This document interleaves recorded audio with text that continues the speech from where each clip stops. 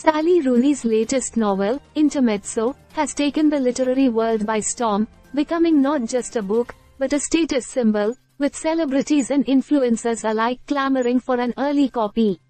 The novel's rollout was anything but typical. Instead of a standard release, only 2,500 advance copies were distributed to a select group of critics, booksellers, and celebrities, each one numbered and highly coveted. This scarcity created a frenzy that elevated Intermezzo beyond just its literary merit. It became a symbol of exclusivity, with stars like Sarah Jessica Parker photographed reading it, further fueling its desirability.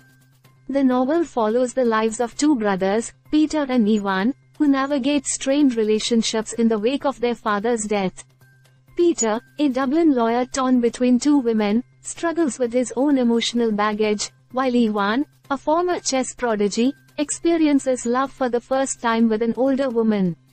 As always, Rooney brings her signature minimalist prose and introspective character development, tackling themes of love, grief, and family with a raw, stripped-back style. The novel's focus on the complexities of brotherhood and generational divides makes it another nuanced exploration of human relationships, an area Rooney excels in. However, Intermezzo's success isn't purely based on its narrative strengths.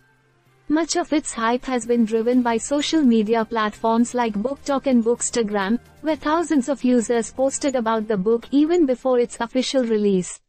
The cultural obsession with Intermezzo has made it less about the book itself and more about owning it, creating a commodity-like allure around Rooney's work. This phenomenon reflects a broader trend in which books become social capital, particularly in online spaces. Despite this frenzy, Rooney's talent is undeniable.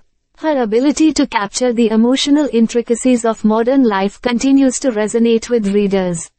While some argue that the scarcity-driven hype might overshadow the book's actual content, it's clear that Intermezzo was always destined to be a success. Rooney's understanding of the millennial condition, her introspective characters, and her unique storytelling style continue to earn her a devoted fanbase. Whether Intermezzo becomes a classic in its own right remains to be seen, but for now, it's clear that Sally Rooney has once again captured the zeitgeist. Stay subscribed for more videos.